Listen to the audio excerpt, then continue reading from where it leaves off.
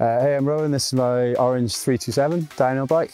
I'll just give you a quick run through what I've got on the setup.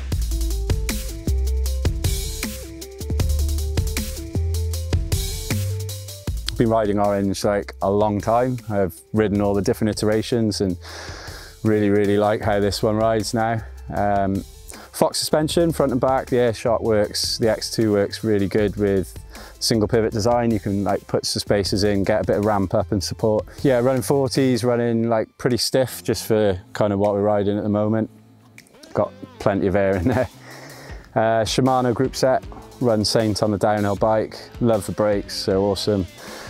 And um, yeah, also ENVE bars and stem. We were kind of on the ENVE program for a few years and I've actually just continued with it because I really, really like the feel of the bars. I think they they work really good on the dyno rig. DMR pedals, love the Brendog pedals, they are awesome, like definitely the best feeling pedals out there.